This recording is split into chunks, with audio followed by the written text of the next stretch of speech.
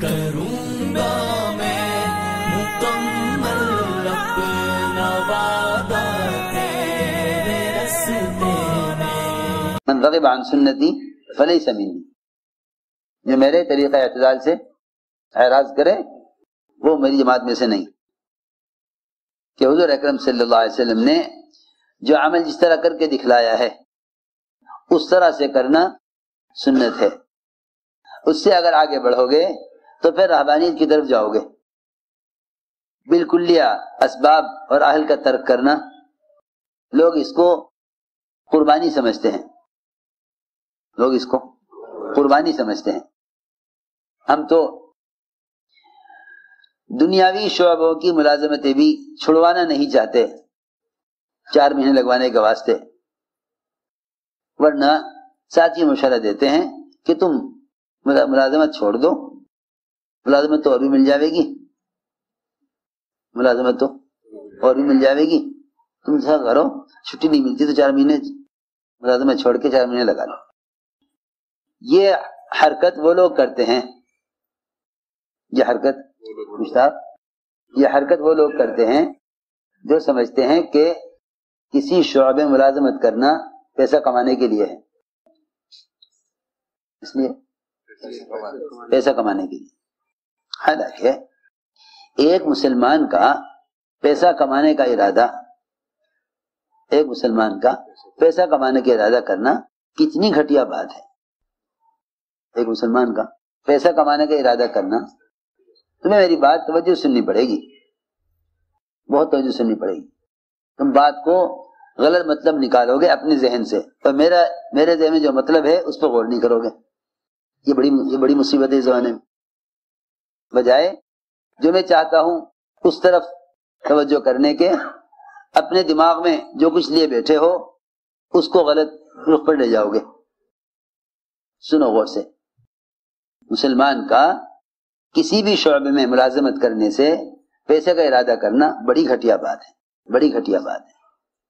मैं इस शोबे का मुलाजिम, मैं इस शोबे का मुलाजिम, पैसे कमाने के लिए नहीं हूँ, बल्कि मैं इस शोबे का मुलाजिम इस शोबे में तीनों दावत को कायम करने के लिए हूँ। इस शोबे में तीनों दावत को कायम करने के लिए ये शोबा दिन भर आए।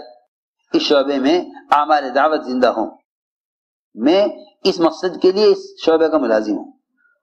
जितने भी दुनिया में छोटे बड़े मुलाजमीन, मुख्तलिफ़ कंपनियों में, मुख्तलिफ़ हुकूमत में, वजारतों में और दुनिया के मुख्तलिफ़ शोबों में मुलाजिम हैं यूँ समझते हैं, ये तो पैसा कमाने के लिए है। अब चार महीने लगाने हैं, लिहाजा मैं छोड़ू। जब चार महीने लगा के आऊँगा तो मेरे पास तो बहुत बड़ी डिग्रियाँ हैं। अब बड़ी मेरे पास सलाहियत है।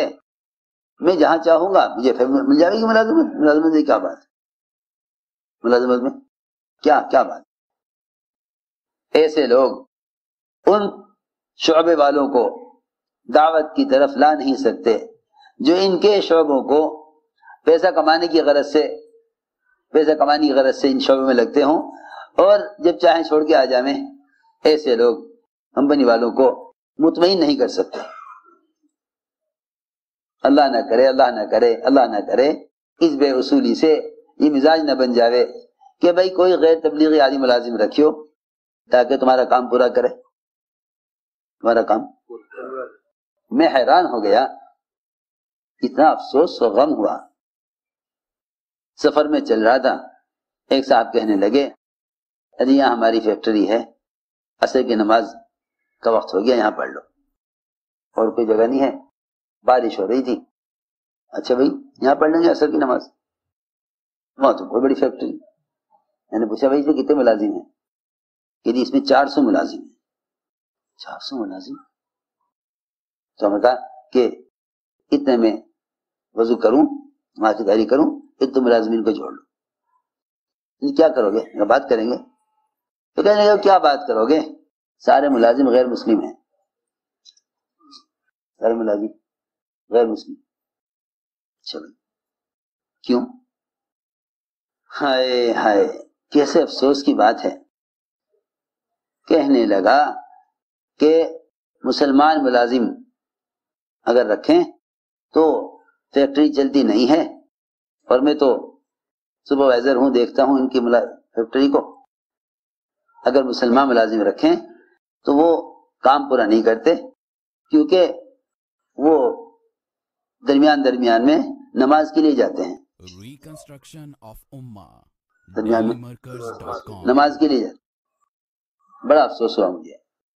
मैंने कहा देखो इसने ये यकीन न किया कि अगर मुसलमान मुलाजिम पाँच वक्त नमाज़ के लिए जावे और काम के दरमियान नमाज़ के लिए जाए तो इसकी नमाज़ के अमल से मेरे काम में कितनी बरकत होगी। इसका ये ख्याल ना आया। इसका ख्याल आया कि अगर ये हर नमाज़ के लिए छोड़कर जाएगा तो हर नमाज़ के कम से कम मस्जिद में आने जाने सुन्नतें फराइज के बीस मिनट निकाल दो। तो पाँच नमाजों के या चार नमाजों के कितने मिनट हो गए? इतनी देर फैक्ट्री बंद रहेगी तो क्या नुकसान होगा? यह ख्याल न किया कि अगर ये नमाज़ पढ़ते हुए काम करेगा तो अल्लाह रब्बुल इज़्ज़त गैब से कितनी बरकतें नमाज़ के अमल से इसमें डालेंगे।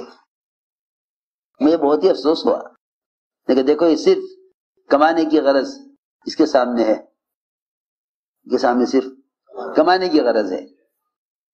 मैंने इसलिए अर्ज़ किया कि किसी भी शोबे में मुलाजमत पैसा कमाने के लिए नहीं है, बल्कि उस शोबे में दीन और दावत को कायम करने के लिए।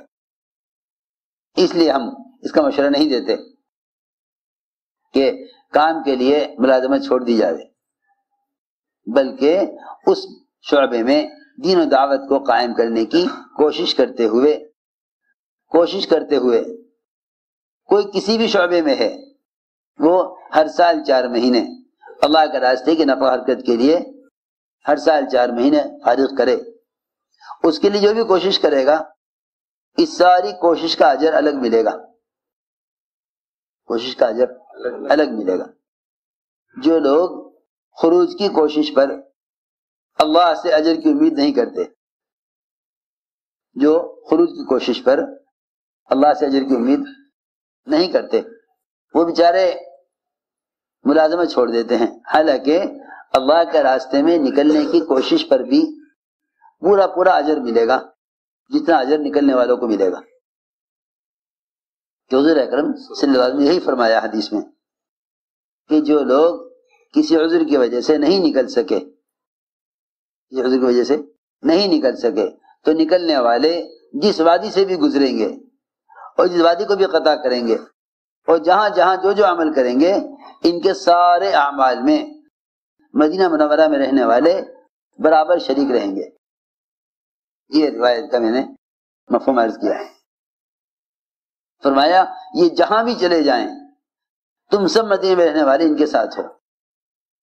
तुम मदीने में रहने वाले, निकलने वालों के साथ हो हर जगह, हर मौके पर। मा सरक तुम मसीरन, वला कता तुम वादियन, इल्ला वहुम माकुम।